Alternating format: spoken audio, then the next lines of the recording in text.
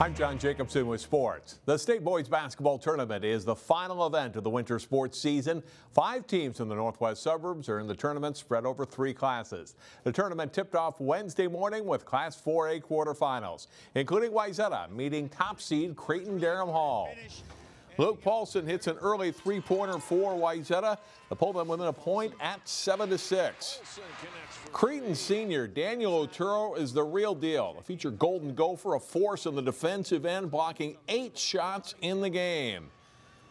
And on the other end of the floor, sweet spin move to the basket plus a foul. Oturu puts the Raiders up by eight. Nice pick and roll here by the Trojans. Connor Hale, the Tanner Jonas for two, and Wayzata's within four at 20 to 16. But Cretin-Derham Hall finishes the half strong. Ryan Larson, bullet pass there to Jalen Newton for the layup, one of seven assists for Larson in the game. Oturu gets the loose ball in the paint and slams home two more of his 16 first half points. And then the 6'10 senior down the lane for another dunk. He had 24 points in the game, 12 of 14 shooting from the field, Wayzata trails by 18 at halftime. Cy Chapman gets a loose ball in the lane early in the second half and dunks home two of his 22 points.